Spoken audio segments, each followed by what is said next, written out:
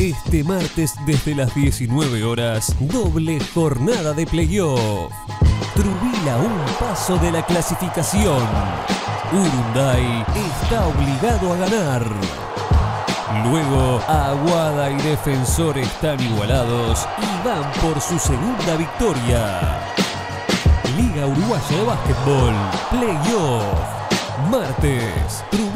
Urunday 19-15 horas. Aguada Defensor 21-30 horas. En vivo, por BTV. Presenta Coca-Cola y Antel.